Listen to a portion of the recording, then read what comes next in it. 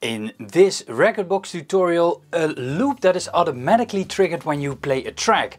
This is called an active loop in Rekordbox, so you don't have to press a button to activate it.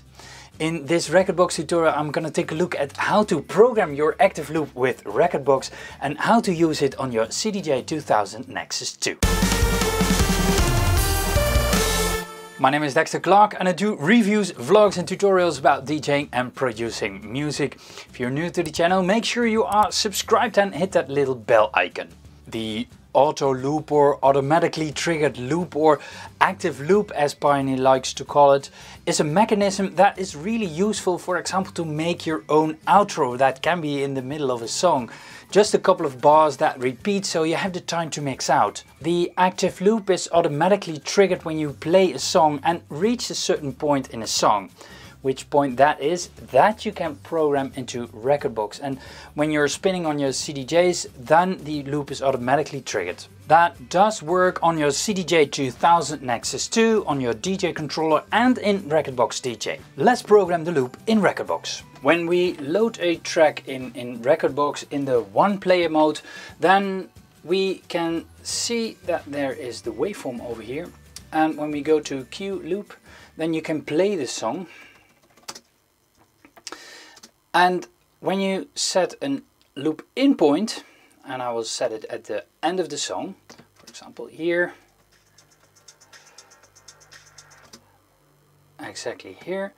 I'll cue it so it is on the right spot. Then I'll say loop in. You can do this while you're, while you're playing, not a problem. And let's play it again. I'll take two bars of four beats. So this will mean that it is in phrase. I'll set an out point. Then we have a loop and we can hear if it's correct. Perfect, perfect. Now we can store it as an active loop by clicking on memory. This alone sets a loop in the memory but does not set an active loop.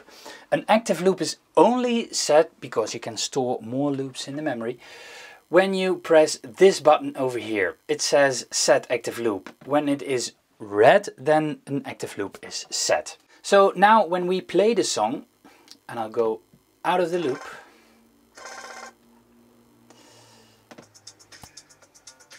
and it comes to the point where I set the, the active loop, and yes, here it is. The active loop works in Rekordbox DJ and when you play the song,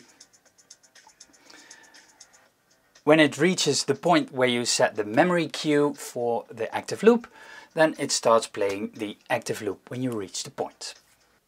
But of course it works the same way on the CDJ 2000. This video is part of the series Rekordbox tutorials for beginners. A link to the playlist with all the Rekordbox tutorials you can find here in the end screen and also in the description below.